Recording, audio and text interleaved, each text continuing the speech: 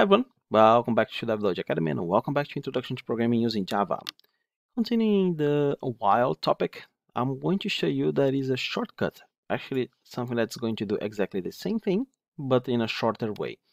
By the way, here we used plus one, but you could, could use plus two as well. So you just have to do the, the math a little bit different, but as you can see, it's counting uh, two by two. Then what I want to show you is that there is a shortcut when you want to increment one by one. So basically this is so common that Java created uh, another way to do the same thing by having this. So basically I'm just going to press Ctrl slash. I'm going to have a comment here. So you can either have it here or you can have something like this. This line is going to be completely ignored. So this is exactly, it's just a shortcut for this. So this is the longer version, this is the shorter version. If you execute, you are going to notice that we have exactly the same results, but in a shorter way. So this is very, very common. So I think uh, you should start getting used to this. So if you want to count something one by one, please use this way instead of this way. But uh, they're going to achieve the same thing. And now that we know a little bit about while, let's have one quick exercise. So given a number entered by the user, print all the other numbers starting from 0 until the number given by the user. And here is where things starting getting a little bit more complicated, I'm sorry, because if you look at what we are doing now, we are mixing concepts. You already know how to print the even numbers.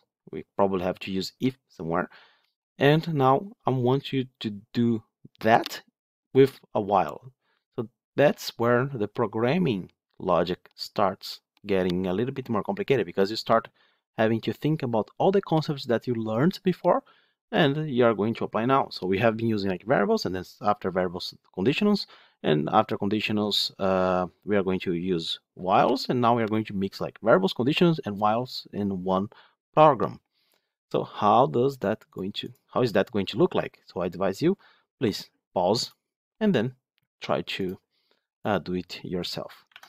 Okay, so Java class exercise while 01 PSVM, same process. I'm going to copy this and I'm going to add it here and I'm going to start. First, we have to get the number from the user. We already did that several times. Let's create here our scanner. So if you don't see any red lines, it means the import was successfully done for you. Then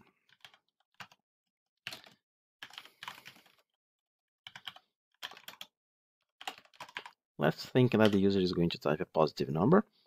And then again we have here input next int and then we introduce variable. So one interesting thing usually when we are working with uh, loops you are going to see a lot the variable i. That means like iteration. So since here is just the target. I'm not going to use i, but I'm going to use i for the next one. So the target, we can have target or maybe final value. It ups totally up to you. Okay, so now we have the the number that we want, but we need to get there from zero. So basically, what we have to do is like I want to count, I like zero, then one, two, three, up to the number that was typed by by the user. So we know if we look at the while 01 that we have to count something. This counter probably will have to get to this final value. So this is our condition. The counter will have to be counting until the final value. So let's see how we can do that. First, we are going to create another variable, the counter, but I'm going to use i for that. And it's going to start with zero. Then it comes our condition. So while this counter, my iteration is lower, and here is saying uh, all numbers are from zero until, let's say lower or equals the final value, I want you to do what? So let's start very simple. Let's just print the numbers. The numbers here, i. And remember, if we don't change the state of the i, it will always be zero. So what do we have to do? i plus plus. So basically print the value that we have in i increment by one, go over the condition again, and keep doing this until it reaches the final value. Let's see this. Control Shift F10. I'm going to give a positive number, 20. And then, as you can see, the while is counting from 0 to 20. So we know that's working, but the exercise is not only this. We have to now print all the odd numbers. Now the odd numbers, we are going to do the following. I know that this part is working, right? So I'm going to leave it like this, and I'm going to add something here. If.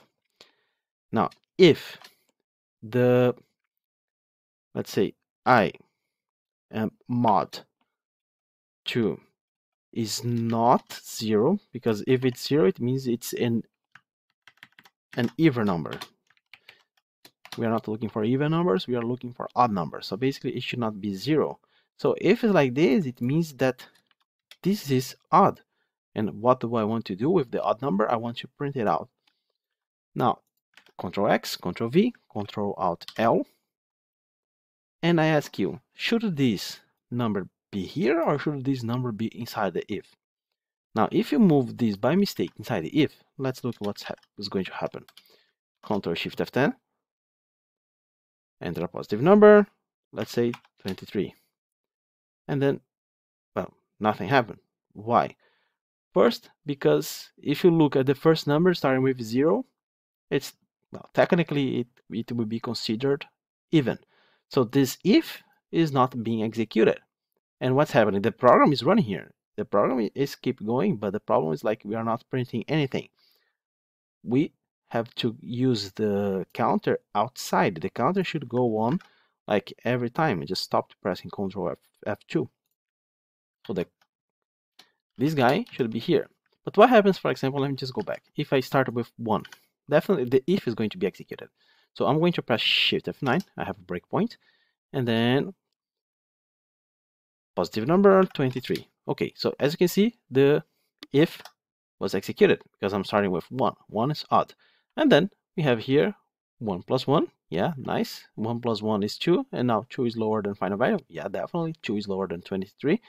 And then the if is not going to be executed again. So as you can see, this is keep going on forever. We are not never going to reach the the end of this program. So just press Ctrl F2 again to stop the program. And now let's do the following. Control Shift arrow down. So we are just taking the counter, the thing that we are incrementing one by one. That's going to be part of our condition to outside if. So it doesn't matter what happens in if, this is definitely going to be executed. Control Shift F10 and 23 and we have all the odd numbers. Control Shift F10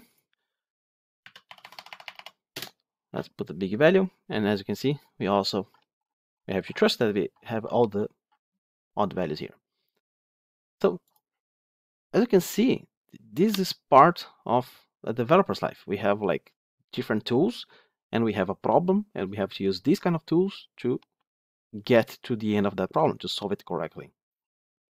So that's it uh, I wanted to tell you for this video. Let's continue in the next one. Bye bye.